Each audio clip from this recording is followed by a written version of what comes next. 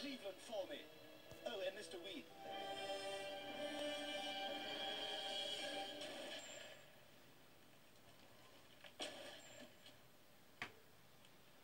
It's just been revealed.